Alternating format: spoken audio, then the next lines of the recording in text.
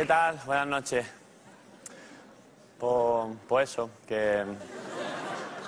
Bueno, yo sé que esto es el club de la comedia y de risa y demás, pero bueno, me vais a permitir que en el próximo minutito, minutito y medio me ponga un poquito serio, ¿vale? Bueno, no serio, emotivo. Y es que tengo que darle la razón a todo aquel, toda aquella que dice que existe un reloj biológico, que es como una especie como de reloj interno, así como metafórico, ¿no? Que va marcando un poco las necesidades o las etapas de nuestra vida, ¿no? Pues con el tema de que, de que he cumplido 30 años, que se me ha, se me ha despertado el reloj biológico. Sí, tengo ganas, tengo ganas de ser padre, tengo ganas de, de tener un nene y bueno, todavía no tengo pareja ni nada, pero que yo imagino que en un futuro no muy lejano poder enamorarme de una chica, que ella se enamore de mí, ser el hombre de su vida, ella ser la mujer de la mía, incluso poder tener la suerte de compartir el mismo techo, incluso por las noches compartir sábanas y sueños. Y que en una de esas noches, mientras estamos durmiendo, que se abra la puerta de la habitación y que se escuchen unos pasitos, y que aparezca mi nene a pie de cama y que me tire de la sábana y me diga, papá, te lo miedo. Supongo que, que en ese momento empezaría a cobrar sentido la palabra instinto, porque aun sin saber muy bien qué es lo que haría, sé que en ese momento sabría qué hacer. Yo supongo que cogería al nene, lo subiría a la cama, lo abrazaría a mí, sentir su respiración, que él sintiera la mía, que se quedara dormidito. Yo creo que en ese momento, a cada lado de mí, yo tendría lo más bonito que me ha pasado en mi vida. Y, y sé. Y sé, sé que muchos, muchos de los chicos que habéis venido aquí esta noche estaréis pensando, Dani, te has puesto un poco ñoño, vale. Pero yo sé que muchas de las chicas que habéis venido estaréis pensando, yo me lo follaba. No, no me gustan los niños, una puta mierda. ¿No he visto una cosa más mala que un niño? Un niño no es consciente de lo malo que es. Si fueran conscientes eran más malos todavía. Tienen inquina, son nocivos, son maquiavélicos, son demoníacos, burzubéricos, burzu... Niño, no, niño, no. Bueno, a mí me dan miedo. Los niños son peligrosos, peligrosos. Un grupo de niños tiene más peligro que un grupo de, de gremlins en el acopato remolino, de verdad, peligroso. Más peligro que una mamada con ortodoncia, lo digo por experiencia, ¿eh? Soy un cómico empírico, científico.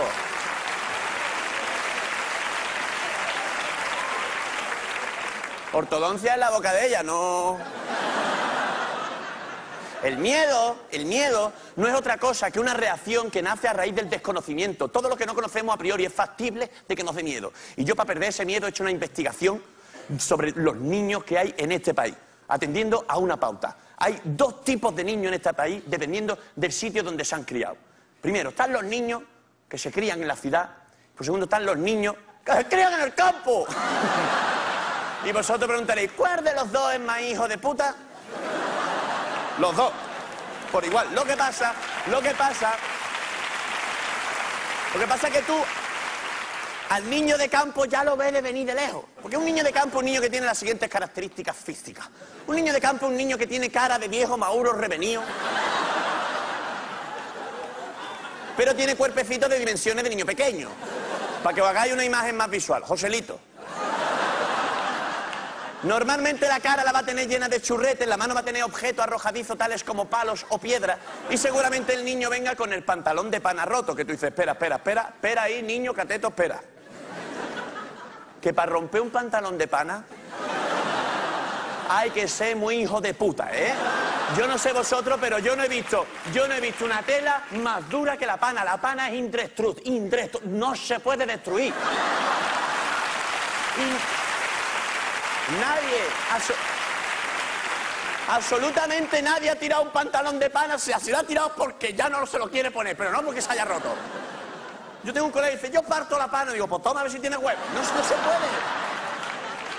Yo creo que la pana, yo creo que la pana, o sea, cuando pegue el gran explotivo final planeta, va a quedar la pana, Sara Montiel y la cucaracha. Venga, vamos, venga, vamos, venga, vamos, venga, venga. A ver, y nadie, no, en serio. Nadie se ha planteado en este país que si la pana es la, la tela más indestructible, usar la pana para las profesiones más físicas de mayor. Nadie se ha ocurrido. A mí sí. Los bomberos, vestirlo de pana. Nadie se le ha ocurrido. A mí sí. Los militares, vestirlo de pana. A nadie se le ha ocurrido. A mí sí. Los superhéroes. Sé lo que estáis pensando todos. Este tío se tiene que drogar, yo no me drogo, ¿eh? Ojo, ojo, ojo, que yo no me drogo. Yo no tomo, yo no tomo porro, crack, speed. ¿Entienden mucho? Sí, pero es que el camello es mi hermano. Yo lo que hago es que a mi abuela le robo las pastillitas homologadas de la Seguridad Social y lo que son los dragones y los Nazgûl ¡ah! van entrando solos. No, no, no. Imagínate que tú, no, pero imagínate que tú te levantas una mañana ante la tesitura, ¿no? De esta mañana que tú te levantas diciendo, ay, qué tesitura, ¿no? Y tienes, y tienes que escoger entre atacar o a Superman o al increíble hombre pana. Tú aunque sea un par de segundos te lo piensas, ¿eh? porque tú tienes que atacar a Superman y todo el mundo tenemos la lección aprendida. Tú coges un pedrolo de cristonita, le revienta a Superman la cabeza, lo deja allí triste, deprimido, de capa caída. Pero tú imagínate, imagínate que tiene que atacar al increíble hombre pana. ¿Vosotros qué haríais? ¿Os digo lo que haría yo? Yo lo mojo. Como tú mojas el increíble hombre pana, ese hombre se cuartea y no se mueve de allí en su vida. Yo no he visto una cosa que pese más que la pana mojada, de verdad, ¿eh? La pana mojada está en el top 3. La pana mojada está en el top 3 de las cosas más pesadas del mundo. Está la pana mojada, un tanque en la solapa y una olla de callo antes de acostarse, de verdad, ¿eh? Y luego investiga también el, tiempo de ocio. A mí me interesa saber los niños en qué invierten su tiempo de ocio. Y yo lo he investigado, por ejemplo, con los niños de campo, gracias a mi primo. ¿vale? Mi primo es muy de campo, él es muy bruto, pero muy bruto, muy bruto. Y me acuerdo, nos fuimos a una excursión allí unos 15 días a Senegal, allí a visitar las tribus estas. Las tribus estas indígenas que van con el taparrabillo, bueno, taparrabillo, tapa extintores, ¿no? De estos que llevan, de estos que llevan aquí en el labio de abajo como una especie como de platito. Fijaros si era bruto mi primo. ¿Sabéis qué fue lo que hizo? Le metí un CD en MP3 a ver si lo leía. Dice, hombre, por favor. Claro. Y los niños de campo, como no tienen enchufe, ni PlayStation, ni hostia, los niños de campo hacen actividades como, por ejemplo, escalar el monte con la boca, eh, lanzamiento de bombona de butano indoor, pelamiento, digo, chumbo, sin guante. Pero sobre todo hay una actividad que a los niños de campo les encanta, que es el tema de matar bichitos. Yo será porque me he criado en ciudad, pero es que yo, a mí me cuentan estas cosas y se me abren las carnes. Open my meat, de verdad, ¿eh? Mira, me empieza a contar mi primo y dice, nosotros pequeños cogíamos los escarabajos y le separábamos la cabeza del cuerpo así, de rosca, porque es de rosca. Digo, un detalle, ¿eh? con el escarabajo, un detalle. Le separábamos la cabeza del cuerpo y se quedaba ahí como una especie de corbatita. Y dice, bueno, ¿y luego qué? Pues coge otro caragón, yo qué sé. Ya está. Y luego decía, nosotros, no, no, hay más, hay más. Decía, no, nosotros de pequeños cogíamos los palomos, le abríamos la boca, lo metíamos en el grifo, palomo, palomo, palomo, palomo, palomo, palomo, palomo, le hacíamos un nudo en el pescuezo y teníamos globos originales. Hombre, por favor. Pero ya esta se lleva la palma. Decía, nosotros de pequeños cogíamos a los murciélagos y lo clavábamos con chincheta, las alas a la pared y le metíamos un cigarro entero encendido en la boca. Mira, y el murciélago hacía... Se lo fumaba del tirón. Digo, normal, que si tú al animalito no le suelta una ala para que le dé una calada, no le da otra opción. No le da otra opción. ¡Qué bruto!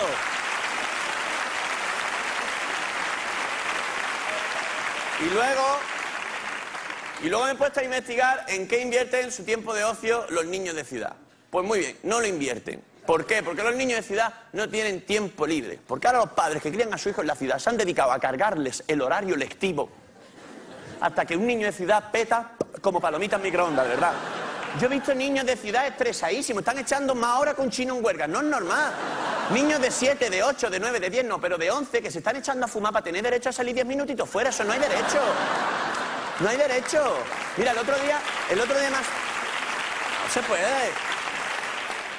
El otro día asomé a, al, al, patio de luces de mi, de mi, bloque, donde estaban las dos vecinas asomadas, las dos vecinas legendarias, la Puri y la Carmen. Y está allí, la, la Carmen está allí. Dice la Puri, Puris, ¿qué pasa? Dice, ¿cómo te va? Dice, ¡ah! Muy bien, muy bien, muy bien, muy bien. ¿Y con tu marido? ¿Con mi marido? ¡ah! Muy bien, muy bien. Dos semanas hace que no lo veo. A bombona de butano diaria voy. Y yo soy de gas natural. Y con los niños, dice, ¿con los niños? ¿Con los niños? ¡ah! Se me ha caído una camisa. Pues mira, con los niños muy bien. Nosotros, de lunes a viernes, los niños de 8 de la mañana a 2 de la tarde, los niños están en el colegio. Y luego de 2 de la tarde a 4 de la tarde, los niños están en el comedor didáctico. Comedor didáctico porque a la par que comen, aprenden. Por eso se llama comedor didáctico y no se llama paraguas chico. Yo qué sé. Luego los lunes y los martes, a primera de la tarde, los niños tienen clase de inglés, de francés, de chino y de rumano. Todos últimos, porque lo estamos viendo de venir. Y a segunda hora de la tarde, los niños tienen clase de biblioteconomía. Biblioteconomía, biblioteconomía. Yo no sé qué coño es, pero están los niños entretenidos por otro lado. Y luego, los miércoles y los jueves a primera de la tarde, los niños tienen clase de natación. Pero natación, para atrás. ¿Para atrás por? Porque para adelante abren la boca, tragan el agua y no me fío yo del pH de la piscina. Aparte que todo el mundo sabe que las madres de las demás son más guarras que una misma. Y luego, a segunda hora de la tarde, la verdad que no sé qué están haciendo. Luego, los viernes a primera de la tarde, los niños tienen una clase como especie de, bueno, de gincana por el barrio. Y a segunda hora de la tarde, los niños tienen clase de guitarra, de violín y de acordeón. Acordeón, sí, por lo de los rumanos. Por lo de los rumanos, eso. Y luego, y luego el sábado los niños se montan los sábados los niños se montan en la mountain bike y te suben los siete picos que tiene Granada. Pero si nosotros vivimos en Badajoz, yo que sé cómo coño llegan los niños allí. Y luego a lo largo del domingo están los niños haciendo los deberes. Dice, bueno, ¿y cómo te va? Dice, muy bien. Se me han muerto ya dos. Otro lo está buscando la Interpol. Y el cuarto no está respondiendo bien a la medicación. ¿eh? No nos dirige la palabra, pero bueno, como es Erasmus, a mí me da lo mismo. Hombre, por favor. Una cosa es que a mí no me gusten los niños y otra cosa es que queramos exterminarlos del planeta, por favor, que son el futuro del país. Salvemos a los niños. Save the children.